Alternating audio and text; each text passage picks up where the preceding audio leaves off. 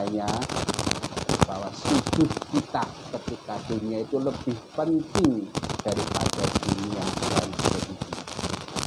Bahkan Rasulullah Shallallahu Alaihi Wasallam pernah mengisyaratkan kepada kita membaca Subhanallah walhamdulillahi wala ilaha illallah wallahu akbar itu lebih penting lebih beliau cintai daripada dunia bahkan satu rakaat sujud sholat yang khusus ikhwan itu lebih penting daripada dunia dan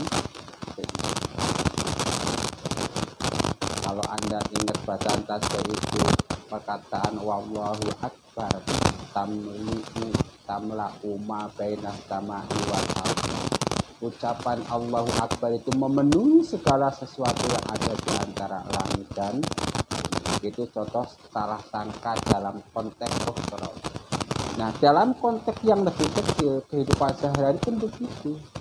Betapa banyak orang yang bertengkar dengan tetangganya, dengan saudaranya, gara-gara salah sangka, gara-gara wah, kita menyangka dia itu mau berbuat A, B, C, D, padahal tidak hanya salah sangka kita sendiri.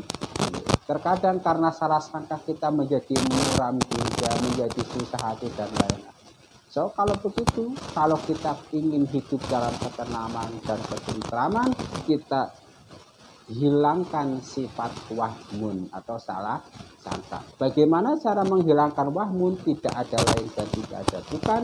Kita harus berikhtiar menambah ilmu-ilmu agama tentang bagaimana menghilangkan wahmun. Makin dalam ilmunya, makin sedikit wahmun. Kalau nggak ada salah sangka, apalagi kalau kita sampai wahmun salah sangka kepada Allah Subhanahu misalnya kita bicara lagi dibaca oleh Allah kita ujian kita jadi sehudol salah sangka nah itu bahaya lagi. Nah, mudah-mudahan bermanfaat. Dan lupa like dan ini Rabbana taqabbal minna innaka antas samiul alim wa tub alaina innaka antat tawwabur rahim.